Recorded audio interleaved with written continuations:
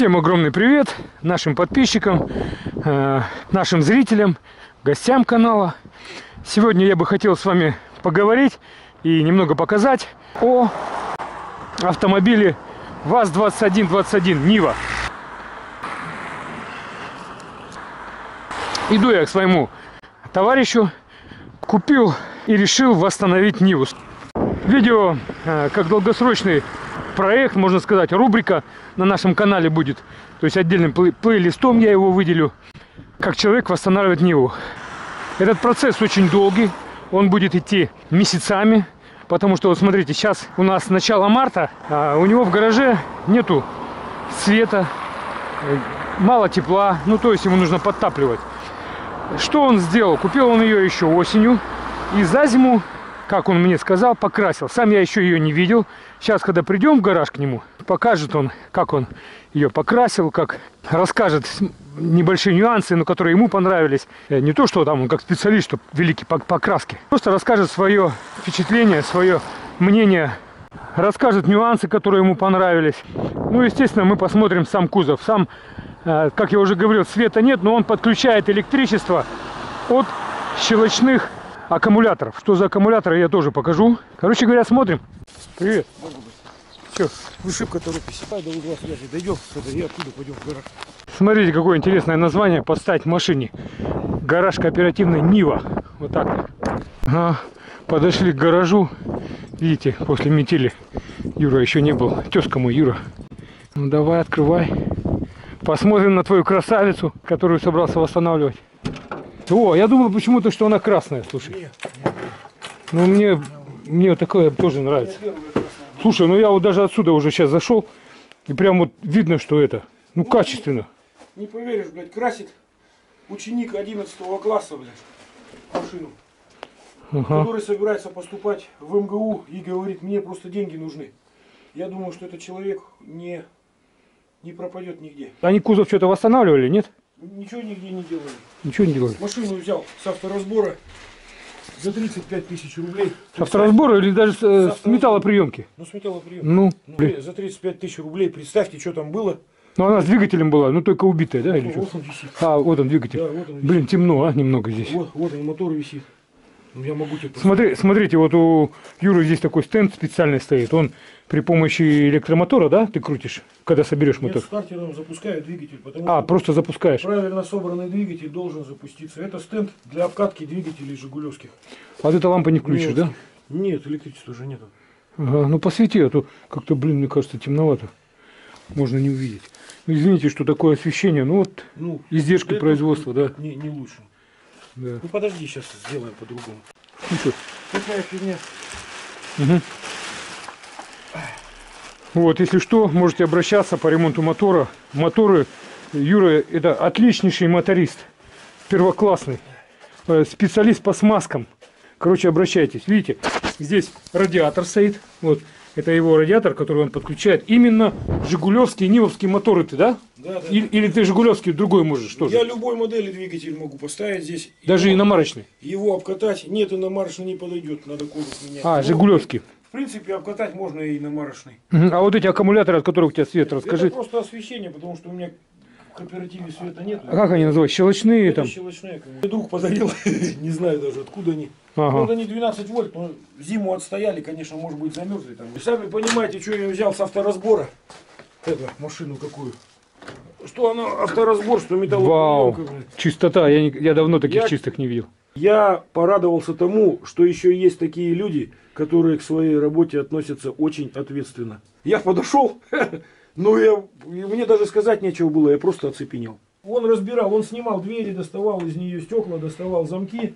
Потом А, все на место поставил? А? Потом все на место Да, поставил? потом все на место, и двери поставил, и капот, все. Это, То есть он машину, э, перед тем, как покрасить, он ее разобрал. Какого года машина? Машина 96-го года, ну сейчас она, наверное, выглядит, я не знаю. ну, Ну, новая, новая, считай. 2021 Ну, наверное. ну, как тебе ее делали? Что-то, наверное, дней 10. То есть Ты сдал, а через 10 дней тебе Да, вернули. они сначала, он мне звонил после каждой операции, я приходил, то есть они сначала догола ее обработали какой-то смывкой старой краски. Он ее на два слоя огрунтовал серым грунтом, потом покрыл белым грунтом, потому что белая краска, и потом красил. Красил ее в разобранном виде, Это и после... Стекла тоже снимал, да? Нет, он стекла переднего не было, стекло он мне вставил. Мгм. Вот. А, И исправил мне капот. Потому что, ну, сам, сам понимаешь, что там, какие там капоты на авторазборе, по ним там, может, обезьяна танцевала, блядь. Этот человек мне конкретно сказал, что работа будет стоить порядка 25 тысяч рублей. Значит, с краской удовольствие мне вышло полностью с краской, с грунтовкой, там, с, с антигравием, который он там покрывал. Значит, оно мне вышло 34 тысячи машина. вот, ну, по- покраска, то есть моторный отсек и машина вся. Ну а мотор что? Пока холодно. Я ворота, если открою, то я буду печкой улицу отапливать. Вот. э, Электричества у меня нет, есть стапели, есть Вот, кондуктор. смотрите, на печке вот снег замело, да? Ну да. Это, наверное, через с- трубу, да? с дырки, ну. Через да я трубу. что тут не появляйся с осени. Полностью новый мотор. Ты на продажу или себе два? Нет, этот на продажу, этот себе. Понятно. Этот с машиной же буду делать. Судя по маховику, она прошла машина немного. А судя по ее спидометру, она пробежала 68 тысяч. Может она пробежала 168, а может э, 268.